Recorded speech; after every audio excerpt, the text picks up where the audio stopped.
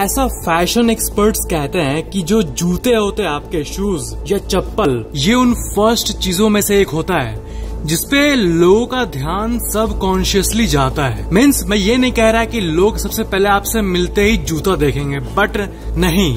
बल्कि सब कॉन्शियसली वो जूते को देखते हैं ऑब्ज़र्व करते हैं। और उनके माइंड को ये फील होता है कि अगर ये बंदा जूता इतना स्टैंडर्ड पहनता है, इसका मतलब ये कॉन्शियस है, और बाकी चीज़ें तो हो गई इसके पास। ये एक सीक्रेट सी साइकोलॉजी होती है। और आप मुझसे पूछोगे कि जूता ही क्यों? तो इसके पीछे एक इवोल्यूशनरी कारण है। ये इसलिए क्योंकि आपके मम्मी पापा के जीन्स के अंदर मतलब जो एक थिंकिंग होती है, वो जीन्स से पास होती है। इसलिए आज दुनिया में सबको पैसे से प्यार है, क्योंकि आपका जितना भी पूर्वज रहा है, वो पैसे की नीड को फील किया है इसलिए। बिल्कुल उसी तरह आज से बहुत पुराने जमाने में, यानी आपके पापा के पापा के पापा के पापा के करते करते करते करते पूरा लास्ट तक जाओ, उस टाइम राजा के जमाने में शूज़, अच्छे शूज़ या चप्पल राजा और बड़े लोगों के पास होता था। और यही रीजन है कि वो उनके दिमाग में बैठ गया और इसका एवोल्यूशनरी कारण भी है। और इसलिए आज के टाइम पे ये कहा जाता है कि जूता बहुत इम्पोर्टेंट होता है आपके लुक्स में।